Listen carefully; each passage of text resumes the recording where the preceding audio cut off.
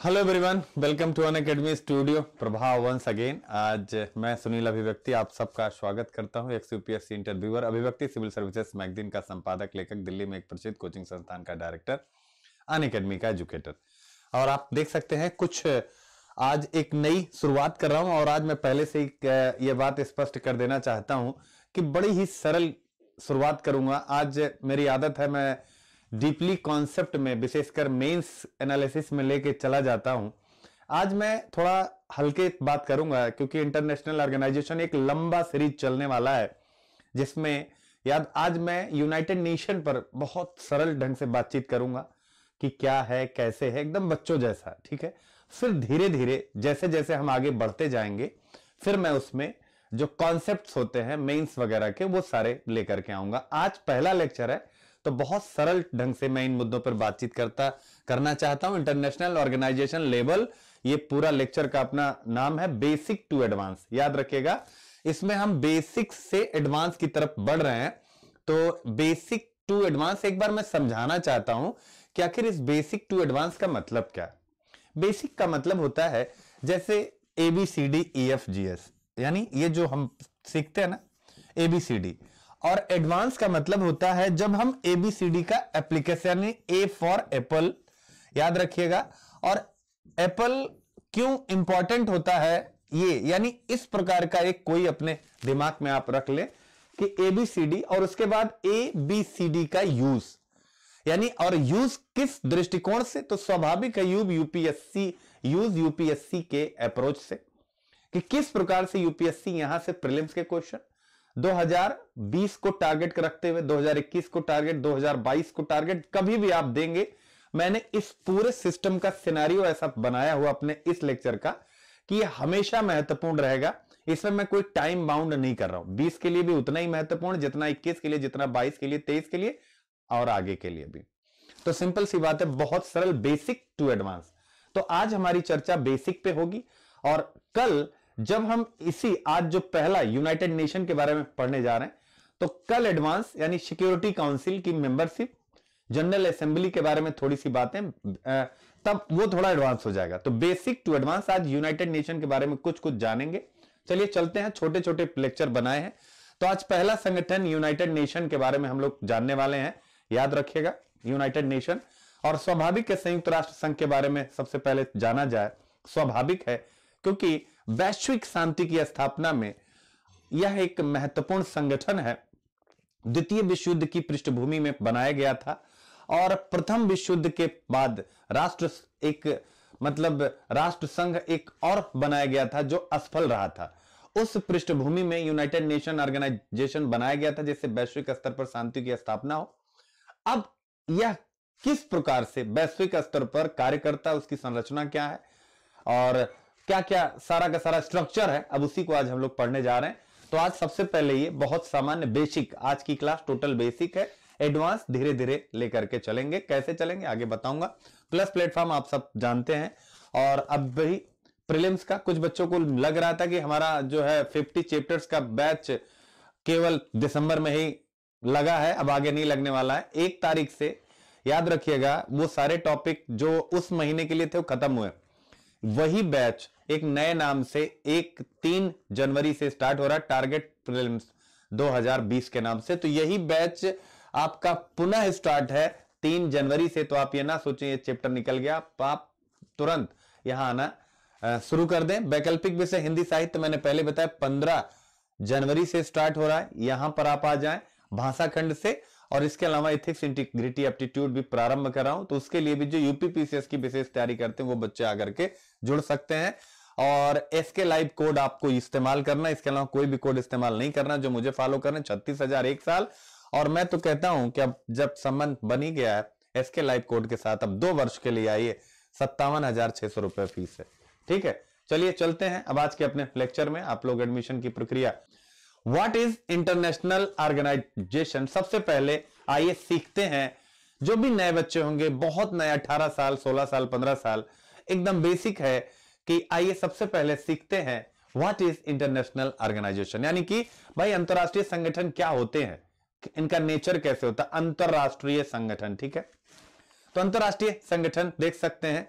वे संस्थाएँ हैं, याद रखिएगा, वे संस्थाएँ हैं जिनके सदस्य और कार्यक्षेत्र तथा उपस्थिति, ये वैश्विक स्तर पर तीन चीज़ें यानी कि अंतरराष्ट्रीय संस्थाएँ जिनके सदस्य और दूसरा उनका कार्य क्षेत्र और तीसरा उनकी उपस्थिति वैश्विक स्तर पर हो, उसे हम अंतर्राष्ट्रीय संगठन कहते हैं। एकदम सामान्य चीज़। ये सब हमें पता होना चाहिए। याद रखिएगा, हमें पता होना चाहिए कि अंतर्राष्ट्रीय संगठन और सदस्य कार्य क्षेत्र और उपस्थिति अगर वैश्विक स्तर पर हो, हम उसे अंतर्राष्ट्रीय संगठन कहते हैं। एक चीज़ हो गया यहाँ पे। ठीक है, अब उसके टाइप्स भी एक बार देख लेते हैं भाई। टाइप्स कितने प्रकार के होते हैं। तो एक है इंटरनेशनल गवर्नमेंटल ऑर्गेनाइजेशन यानी कि जो इंटरनेशनल यानी कि अंतरराष्ट्रीय, क्या है? सरकारी संगठन बोलते हैं। क्या बोलते हैं? इंटरनेशनल गवर्नमेंटल गवर्नमेंट माने सरकार और ऑर्गेनाइजेशन माने संगठन। अंतरराष्ट्रीय सरकारी संगठन, एक कैटेगरी ये होती है। दूसरी कैटेगरी होती है इंटरनेशनल नॉन गवर्नमेंटल ऑर्गेनाइजेशंस यानी कि अंतरराष्ट्रीय गैर सरकारी संगठन। तो ये दो चीज़ों से जो हमारा अंतरराष्ट्रीय संगठन है, यह सिनारियो बनता है। याद रखिएगा, दोनों हमारे लिए महत्वपूर्ण होते हैं। हम अभी जो अंतरराष्ट्रीय संगठन का ये वाला पार्ट है, उस पर विशेष फोकस करेंगे। याद रखिएगा, और अंतर्राष्ट्रीय संगठन एक यूपीएससी के एस्पिरेंट को या सिविल सर्विसेज़ का कोई भी एग्ज़ाम अगर वो कर रहा है, उसके लिए क्यों महत्वपूर्ण है? याद रखिएगा। तो अंतर्राष्ट्रीय संगठन आपके सामने क्यों महत्वपूर्ण है? तो अगर आप अपना जीएस का पेपर टू देखें जीएस का पेपर टू देखेंगे तो आपकी जो लास्ट यूनिट है मेंस की, वो है अंतरराष्ट्रीय, विभिन्न अंतरराष्ट्रीय संस्थाएँ। क्या है? विभिन्न अंतरराष्ट्रीय संस्थाएँ। पहले तो उनका नाम, उनकी संरचना, यानी कि उनका स्ट्रक्चर कैसा है, और फिर उनका अधिदेश, यानी उनका मैंडेट के किस प्रकार से वो शासन क्रिया का संचालन करते हैं, और उसका ग्लोबल इंपैक्ट कैसा देखा जाता है? तो क्या है अंतरराष्ट्रीय संस्थाएँ, संरचना और अधिदेश? तो ये मुख्य परीक्षा की दृष्टि से जीएस पेपर टू। इसके अलावा स्वाभाविक है, प्रिलिम्स की दृष्टि से भी यह हमेशा महत्वपूर्ण रहता है। अगर आप देखेंगे तो प्रिलिम्स में अंतरराष्ट्रीय संगठन, और इसमें केवल मैं यूनाइटेड नेशन के नहीं कराने जा रहा हूँ, पर्यावरण के भी जितने संगठन, आप पूरा विश्व में जितने प्रकार का संगठन होता है, और चाहे कितना भी लंबा टाइम लगेगा ये अब रुकेगा नहीं, ये चलता रहेगा, याद रखिएगा। और जिन बच्चों को इतिहास की डिमांड है, चूँकि काफ़ी डिमांड है तो इतिहास में विषय ही, आप 15-20 मिनट के प्रिलिम्स के कैप्सूल के चक्कर में है, मैंने जान के रुकवाया उसे। वो जब हमारा इकोनॉमिक्स खत्म होने वाला होगा, उसी समय आपको पता चलेगा, मैं इतिहास विषय लेकर के आ रहा हूँ, इस प्लेटफॉर्म पर एकदम नए ढंग से। याद रखिएगा, क्योंकि इतिहास में ही मैंने अपना पूरा जीवन, मेरा बीए मेरा एमए ठीक रहेगा। नेट सब उसी से है। और यूपीएससी में इंटरव्यू जब दिया था 350 अराउंड मार्क्स भी उसी में थे। तो इसका मतलब है कि वो मैं अलग से ला रहा हूँ, ठीक है ना? वो मैंने कुछ दिन किया तो मुझे लगा नहीं कि मेरे मतलब जो मैं हूँ इतिहास में एक एक लाइन में मुझे कुछ अच्छा नहीं लग रहा था। अंदर से आत्मा थोड़ी सी कह रही थी कि बच्चों को और दो, जो इतिहास का असली वाला मज़ा है वो दो। तो वो मैं लेकर के आऊँगा, ठीक है? तो सिंपल सी बात है जीएस और प्रिलिम्स। प्रिलिम्स में अंतरराष्ट्रीय संगठन अगर आप पूरा कर लेते हैं, जिसमें पर्यावरण वगैरह के भी संगठन सारे आ जाएँ तो कुल मिलाकर के आप किसी भी एग्ज़ाम में सिक्स प्लस माइनस टू, यानी छह क्वेश्चन या आठ क्वेश्चन आप यहाँ से उठा सकते हैं। तो आप मेरे साथ ये नहीं पढ़ रहे यहाँ पे कि केवल हम आएँगे और क्या है कि भाई चलो ये हो गया, ये संगठन, ये ऐसा, नहीं। हम पढ़ने जा रहे हैं यहाँ से एक रियलिस्टिक अप्रोच के साथ कि प्रीलिम्स 2020 21 22 जब भी आप देंगे तो हम six plus minus two question यहाँ से टैकल करने जा रहे हैं। याद रखिएगा, यहाँ से टैकल अगर 2016 की तरह या 17 में मिस कर रहा हूँ, आप देखिएगा, जिस साल इकोलॉजी एनवायरमेंट के बहुत क्वेश्चन आ गए थे। तो सारे संगठन पर ही तो पूछे गए थे। सारे प्रश्न संगठनों पर ही इकोलॉजी एनवायरमेंट में। तो इसका मतलब है कि हम उन संगठनों पर काम करने जा रहे हैं, अंतरराष्ट्रीय तो सिक्स प्लस क्वेश्चन आप माइनस हटा दीजिए। सिक्स या सेवन या एट क्वेश्चन आप इंटरनेशनल ऑर्गेनाइजेशन से रहते हैं और अगर हम इसको पढ़ते हैं तो मुझे उम्मीद है कि हम इसी वर्ष और इसके आगे आगे भी मेरे साथ यहाँ से क्वेश्चन टकल आपका हो जाएगा। तो ये हो गया हमारा। तो अंतरराष्ट्रीय संगठन, सबसे पहले आपने क्या सीखा? यहाँ से अपनी बात स्टार्ट करते हैं। सबसे पहले हमने सीखा कि भैया परिभाषा अगर कोई पूछ ले तो हम परिभाषा कैसे कर सकते हैं? पहली चीज़ हो गई। फिर इसके बाद हमने दूसरी चीज़ सीखा। याद रखिएगा कि ये हमारे मुख्य परीक्षा यूपीएससी में किस प्रकार से महत्वपूर्ण है, और केवल यूपीएससी में नहीं, हर स्टेट सिविल सर्विसेज़ में भी अंतरराष्ट्रीय संस्थाओं पर प्रश्न पूछे जाते हैं। तो यूपीएससी का मैंने बेस लिया है। हर एक स्टेट सिविल सर्विसेज़ के लिए भी उतना ही महत्वपूर्ण है। और फिर इसके बाद हमने प्रीलिम्स में देखा, यहाँ से सिक्स प्लस क्वेश्चन पूछे जाते हैं सिक्स प्लस क्वेश्चन अंतरराष्ट्रीय संगठनों से, अगर इकोनॉमिक्स के सबके मिला दिए जाए तो सिक्स प्लस क्वेश्चन पूछे ही जाते हैं। ऐसे में आइए चलते हैं आगे, और यह भी याद रखेंगे कि मैंने इस सेशन को अपने दो बजे वाले सेशन के साथ मिक्स किया है। तो ये हो सकता है कि दोनों का टाइम 45-45 मिनट हो जाए क्योंकि मुझे 90 मिनट में करना है, या किसी का आधे घंटे हो जाए, किसी का कैसे। तो ये दोनों आप डेढ़ बजे से याद रखिएगा और तीन बजे तक आपको मेरे साथ रहना है। ठीक है? चलिए चलते हैं। संयुक्त राष्ट्र संघ, पहला संगठन हम देखने जा रहे हैं संयुक्त राष्ट्र संघ, क्योंकि सबसे बड़ा संगठन है। ठीक है ना? संयुक्त राष्ट्र संघ यूनाइटेड नेशन ऑर्गेनाइजेशन चलिए थोड़ा सा इनके बारे में देखते हैं। एक अंतरराष्ट्रीय संगठन, सबको पता है अंतरराष्ट्रीय संगठन है तो आपको यह पता लग गया कि इसकी सदस्यता, इसका कार्य क्षेत्र क्या है? वैश्विक है। इसके चार्टर पर 26 जून 1945 को ये सबको सैन फ्रांसिस्को में हस्ताक्षर हुए, जो 24 अक्टूबर 1945 को लागू हुआ। अब देखिए, बड़ा महत्वपूर्ण। यानी एक चीज़ ये हो गया। स्थापना 24 अक्टूबर 1945 की ये डेट आप याद कर लीजिएगा। 24 अक्टूबर 1945 की ये डेट अपने दिमाग में। को संयुक्त राष्ट्र चार्टर पर 50 देशों के हस्ताक्षर होने के साथ इसकी स्थापना हुई। अब देखिएगा मैंने पहले ही बताया कि प्रीलिम्स का हम पढ़ने, ये नहीं जा रहे कि हम कंटेंट पढ़ने जा रहे हैं। प्रीलिम्स का क्वेश्चन यहाँ से क्या बनेगा?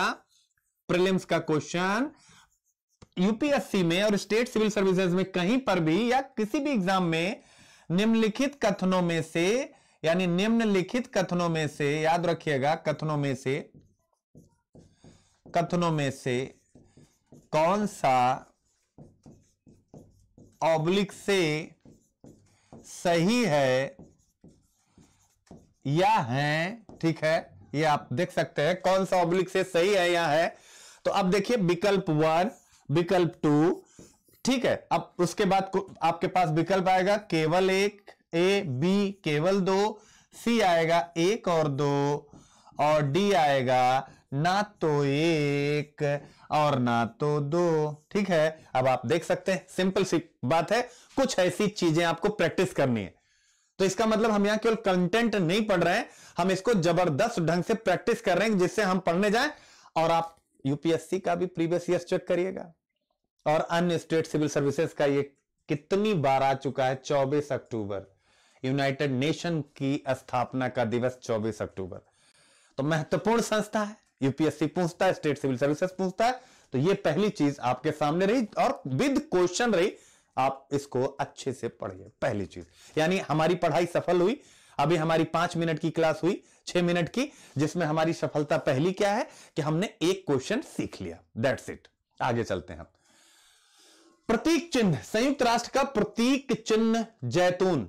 अब आप याद रखिएगा तो यह भी पूछ सकता है निम्नलिखित में से कौन सा संयुक्त राष्ट्र का प्रतीक चिन्ह है, जैतून, और ना जाने और क्या क्या तो जैतून की दो शाखाएँ, देख सकते हैं आप ये। और क्या लिखा गया? ये ऊपर की ओर खुली हैं। आप देख सकते हैं यहाँ पर, यानी जैतून की दो शाखाएँ जो ऊपर की तरफ़ खुली हुई। और उनके बीच हल्की नीली पृष्ठभूमि में विश्व का मानचित्र है। ये देख सकते हैं आप। ये हो गया विश्व का मानचित्र। ये पूरा का पूरा आप देख सकते हैं। ये ये सारे जितने भी हमारे, ठीक है ना कॉन्टिनेंट्स हैं, वो सारे दिए गए हैं। इसका मतलब देखिए कितना बढ़िया है। कि ये प्रतीक क्या है? ये प्रतीक, अब आप जो ग्लोब होता है, उसको याद करिए। यानी ग्लोब के बाहर दो जैतून की पंक्तियाँ। मान लीजिए मैं ग्लोब हूँ और दो जैतून की पंक्तियाँ ऐसे खड़ा कर दीजिए तो क्या हो गया? यूनाइटेड नेशन का प्रतीक चिन्ह जो पूरे ग्लोब को अपने अंतर्गत धारण करता है। इसका बड़ा प्रतीकात्मक अर्थ है। इसका प्रतीकात्मक अर्थ क्या है? ये ये जो जैतून की शाखाएँ और इसके बाद बीच में ये जो विश्व है। यानी ठीक है ना, ये सारे महाद्वीप हमारे और सारे। इसका महत्व तो क्या? इसका महत्व तो है कि इस संपूर्ण विश्व में, यानी ये जो पूरा कॉन्टिनेंट है, जितने भी, इस कॉन्टिनेंट को लेकर के अगर कोई भी तनाव, कोई भी विवाद, कोई भी असामंजस्य ऐसी स्थिति उत्पन्न हो तो उस तनाव, उस असामंजस्य को समित करने के लिए मिटिगेट करने के लिए एक ऐसा संगठन है और उसका नाम है यूनाइटेड नेशन ऑर्गेनाइजेशन संयुक्त राष्ट्र संघ। इसका मतलब क्या कि वैश्विक शांति, वैश्विक स्थिरता, वैश्विक समृद्धि, वैश्विक शांति, वैश्विक स्थिरता, वैश्विक समृद्धि, इसकी स्थापना के लिए यूनाइटेड नेशन का जन्म हुआ। है और यह प्रतीक इससे स्पष्ट होता है, चित्र से, समझिएगा। यानी कि ये और दो शाखाएँ और बीच का गोलो प्लीज़ ऐसे और प्रिलिम्स का क्वेश्चन तो हो ही गया। प्रिलिम्स तो यानी अब दूसरी स्लाइड में हमने क्या सीखा? ठीक है ना? कल से स्लाइड में लिखा भी रहेगा, क्या सीखा? तो स्लाइड में क्या सीखा? हर स्लाइड में, याद रखिएगा, मैं सिखाने की कोशिश करूँगा, क्या सीखा? तो यहाँ से सीखा कि अगर कोई पूछता है यूनाइटेड नेशन का प्रतीक चिन्ह जैतून है, वो क्या कहता है? तो आप कहेंगे, यदि हम जैतून के लोगों को देखें, दोनों और जैतून की शाखाओं को देखें। और बीच में हम जो है, संपूर्ण विश्व को देखें तो यही है कि संपूर्ण विश्व में शांति, स्थिरता, समृद्धि के लिए सबसे निर्णायक और जिम्मेदार संस्था यूनाइटेड नेशन है। अब ये आपको समझ में आ गया। अब थोड़ा यूपीएससी बेसिक से एडवांस की तरफ़ लेकर चलता हूँ, दो मिनट के लिए। यूपीएससी पूछता है और इतिहास वैकल्पिक विषय में भी पूछता है। जीएस में अभी तक नहीं पूछा, लेकिन पूछ लेगा, पीछे पूछे गए हम लोग के टाइम में। क्या संयुक्त राष्ट्र संघ वर्तमान में प्रासंगिक है?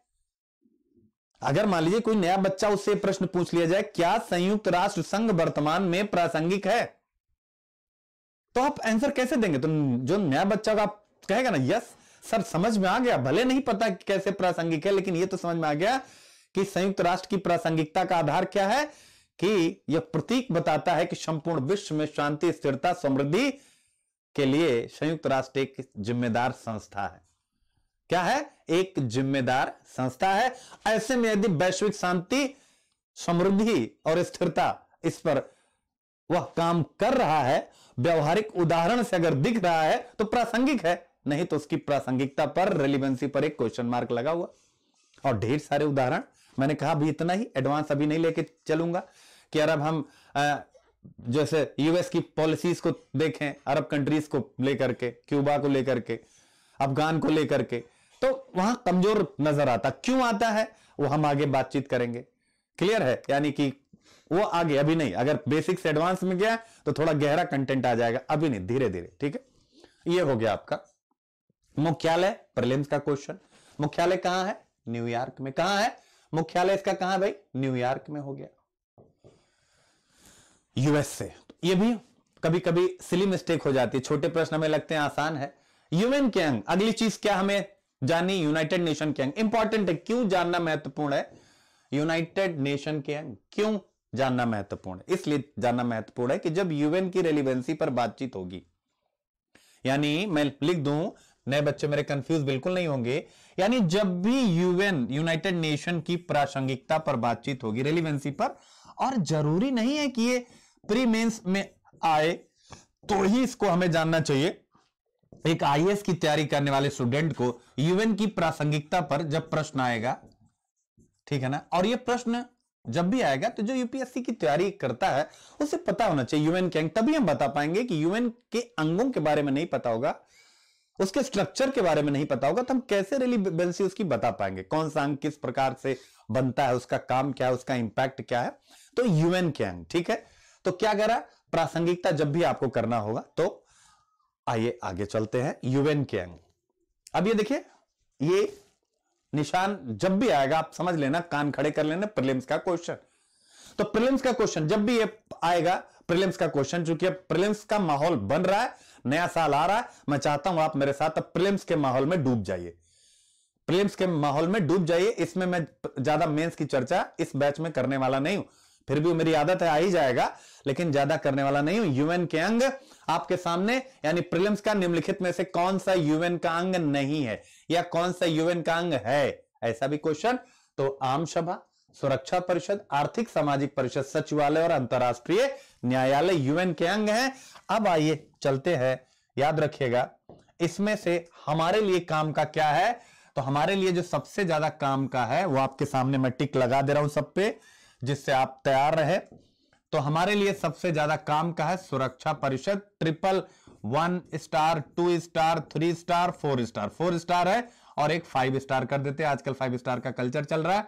फाइव स्टार और प्लस हम ये लिख देते हैं मोस्ट मोस्ट इंपॉर्टेंट याद रखिएगा क्या है ये? मोस्ट मोस्ट इंपॉर्टेंट तो हमें पहला फोकस सुरक्षा परिषद पे याद रखिएगा। जैसा मैंने एम लक्ष्मीकांत सर में किया था, जो इंपॉर्टेंट थे उन्हें पहले निकाल दिया था। फिर इसके बाद दूसरा, अब उसके बाद यहाँ पर हमारी यूपीएससी के लिए कोई महत्वपूर्ण ऐसा नहीं है जो इतना इंपॉर्टेंट हो तो इसका मतलब है अन्य सबको हम सामान्य ढंग से लेंगे और सुरक्षा परिषद को कल के लेक्चर में डीपली लेकर के चल पड़ेंगे।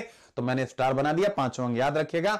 आधिकारिक भाषाएँ, देखिए, फिर प्रीलिम्स का निशान बना हुआ है और आप घर के लिए मत रखिएगा, यही तैयार करिए मेरे साथ। आधिकारिक भाषाएँ, अरबी, चीनी, अंग्रेज़ी, फ्रांसीसी, रूसी, स्पेनी क्या क्या है? अरबी, चीनी, अंग्रेज़ी, फ्रांसीसी, रूसी, स्पेनी, ये आधिकारिक भाषाएँ हैं। याद रखिएगा पहला। तो एक क्वेश्चन तो ये हो गया, लेकिन दूसरा भी यहाँ तैयार है। केवल दो भाषाओं को संचालन, भाषा यानी कि जो पूरा संचालन होगा यूएन का, उसमें आधिकारिक भाषाएँ तो है, लेकिन जो पूरा कार्य संचालन होगा वो केवल अंग्रेज़ी और फ्रांसीसी में हो रहा है। यह चीज़ आपको ध्यान में रखनी है। अरबी, चीनी, अंग्रेज़ी, फ्रांसीसी, रूसी और स्पेनी। क्लियर है? तो सिंपल सी बात है। ये दो क्वेश्चन यहाँ से आपके सामने है। अगला है सदस्य देश 193 ठीक है? और अब मुख्य उद्देश्य क्या है? यह इंपॉर्टेंट है। यूनाइटेड नेशन के मुख्य उद्देश्य। तो आप देख सकते हैं विश्व में युद्ध रोकना क्या है? युद्ध रोकना यानी कोई युद्ध ना हो। मानव अधिकारों की रक्षा करना। अंतरराष्ट्रीय कानून को निभाने की प्रक्रिया जुटाना। सामाजिक और आर्थिक विकास को उभारना और जीवन स्तर में सुधारना और बीमारियों से लड़ना। और याद रखिएगा, ये इतने इसके उद्देश्य है। अब आपको क्या लगता है कि यूनाइटेड नेशन अकेले सब कर पाएगा? जी नहीं, इतना बड़ा काम करना है तो आगे इसके ढेर सारे संस्थाएँ भी होंगी। याद रखिएगा तो ये सब तो आपको पता है कि द्वितीय विश्व युद्ध के विजेता देशों ने मिलकर संयुक्त राष्ट्र को अंतरराष्ट्रीय संघर्ष में हस्तक्षेप करने के उद्देश्य से स्थापित किया था। हल्की सी पृष्ठभूमि है ये थोड़ी सी पृष्ठभूमि है हल्का सा जान लीजिए। ठीक है ना? तो वो चाहते थे कि भविष्य में फिर कभी द्वितीय विश्व युद्ध की तरह के युद्ध ना उभरे। और स्वाभाविक है, अगर तृतीय विश्व युद्ध आता है तो मानवता नष्ट हो जाएगी क्योंकि न्यूक्लियर वेपन्स याद रखेगा और हाइड्रोजन बम के एरा में है। ठीक है? चलिए चलते हैं। अध्यक्ष, फिर देखिए जहाँ जहाँ ये दिखाई दे, अध्यक्ष महासचिव एंटोनियो गुटेरेस अब देखिए संयुक्त राष्ट्र संघ के जो भी महासचिव रहे हैं इनमें क्या पूछता है? अनुक्रम पूछ लेता है। अनुक्रम याद रखिएगा क्या पूछ लेता है? अनुक्रम पूछ लेता है यूपीएससी में भी और अन्य इस, मतलब जो एग्ज़ाम स्टेट सिविल सर्विसेज़ के होते हैं याद रखिएगा। तो वहाँ पर पूछ लेता है तो पहले कौन है? ग्लेडबिन जेब है। कहाँ के हैं? यूके के हैं। ट्रेगवे ली हैं। कहाँ के हैं? नॉर्वे के हैं। समय आप मिलान कर लीजिएगा। डैग हैमर स्क्वान जोल्ड है। स्वीडन के हैं, यूथांट है, म्यांमार के हैं, कुर्त वाल्डहाइम है, ऑस्ट्रिया के हैं, जेबियर पेरिस डी कुयार है, पेरू के हैं, बुतरस घाली हैं, मिस्र के हैं, कोफी अन्नान रहे हैं, घाना के हैं, बान की मून रहे हैं, दक्षिण कोरिया और वर्तमान में एंटोनियो गुट दस है। याद रखिएगा, अब इनका आपको क्या करना है? सीरीज़ याद करनी है। तो जैसे सीरीज़ के लिए अगर हम कोई ट्रिक सोचे तो आप सामान्य सी ट्रिक आप लोग भी काम करें। हम भी यहाँ पर एक कोशिश करके देखते हैं कि आपके लिए क्या ट्रिक यहाँ पर बनाई जा सकती है। तो आप देख सकते हैं जी टी डी यू के यानी पहले पाँच में हमने क्या मिला? जी टी डी क्या है? जी टी डी यू के यानी G T G T D U K आप बना लीजिए। जी टी डी यू के हैं। जी टी यानी कोई भी नाम आप, यानी मान लीजिए आपका आप, कोई नाम आप सोचिए जीटी कहाँ के हैं? डीयू के हैं। डीयू मतलब दिल्ली यूनिवर्सिटी तो जीटी डीयू के हैं। तो इससे क्या हो गया? आपका बन गया, क्या बन गया? जीटी डीयू के हैं। क्या हो गया? जीटी डीयू डीयू मतलब जीटी को आप नाम एज्यूम कर लीजिए, कोई नाम है जीटी यानी गीता कर लीजिए डीयू के, की हैं या डीयू के हैं, ठीक है ना? तो जी टी डी यू के हैं। तो यानी कि जी टी डी यू के के का मतलब क्या हो गया? कुर्थ, वाल्डहाइम। तो जी टी डी यू के आप ऐसे कर सकते हैं। और इसके बाद छठा नाम है क्या? जेबियर जे बी और फिर इसके बाद के और बी और उसके बाद है A J B K B A J B K यानी जे बी के ने बी ए किया। क्या किया?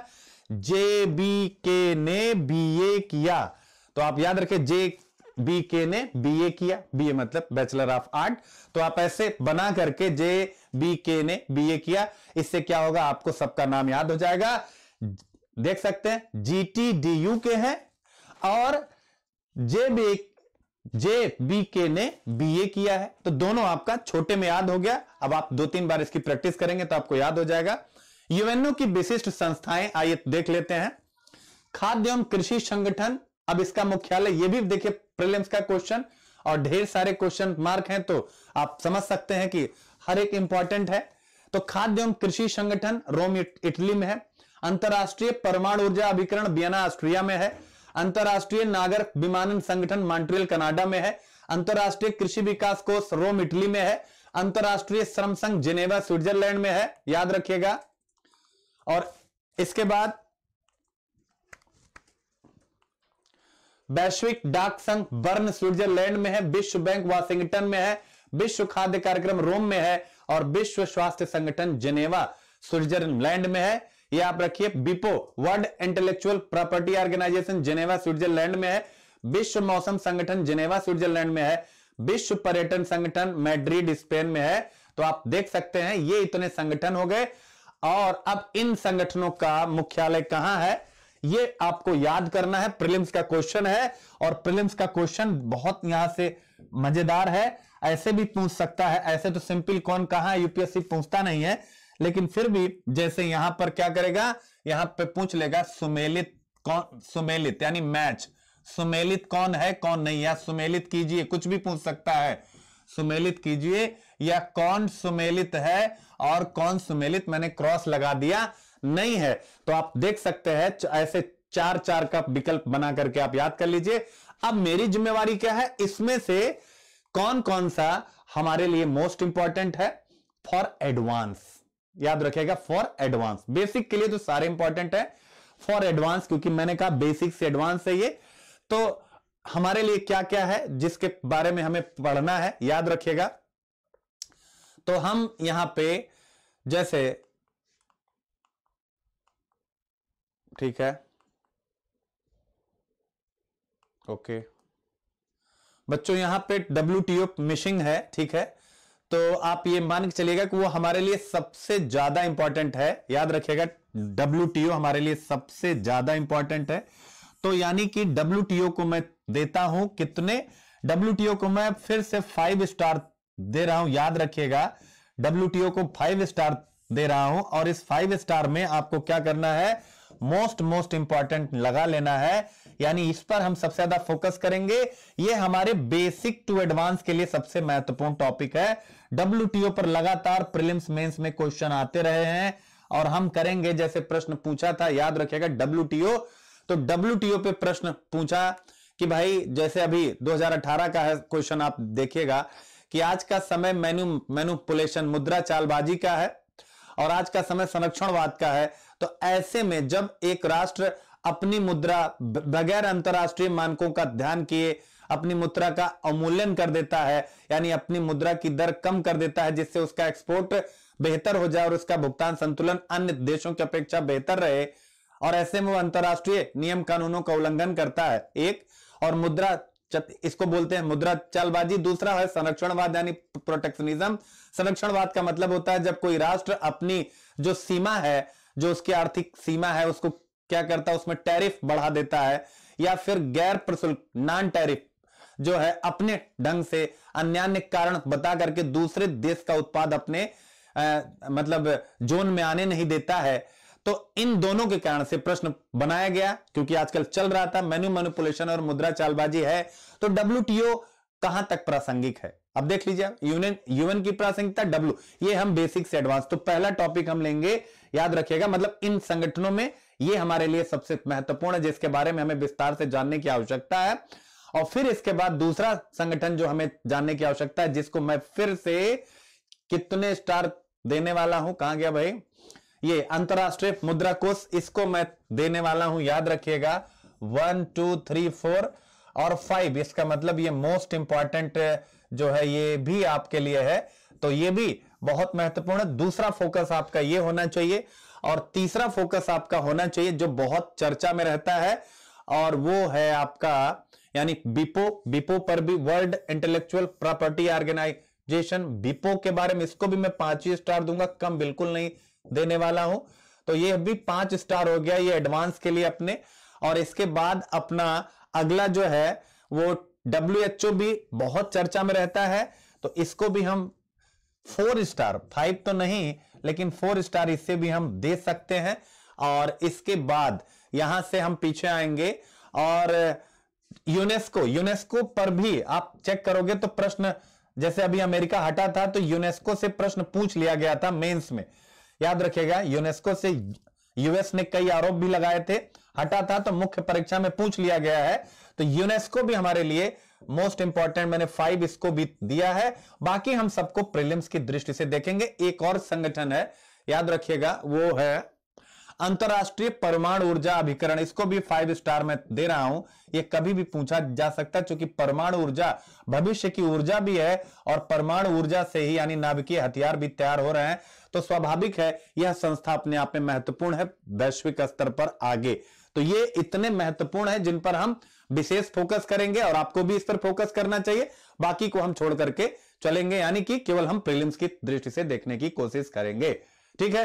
तो चलते हैं बच्चों। ये सारा आप सबको पता है, बताने की आवश्यकता नहीं है। एडमिशन के लिए प्रोसेसिंग यही है। इंतज़ार मत करिए, आ जाइए। और तुरंत इस बैच के बाद थैंक यू सो मच विश्वास करने के लिए मेरे ऊपर कि मैं आपका, आपके जीवन में एक थोड़ा सा रूपांतरण ला सकता हूँ, एक छोटी सी भूमिका निभा सकता हूँ। उन सब के लिए आप सबका हृदय से आभार। और मिलते हैं तुरंत जस्ट अपने इकोनॉमिक्स सेशन में। तब तक के लिए जय हिंद, खुश रहें, स्वस्थ रहें, मस्त रहें।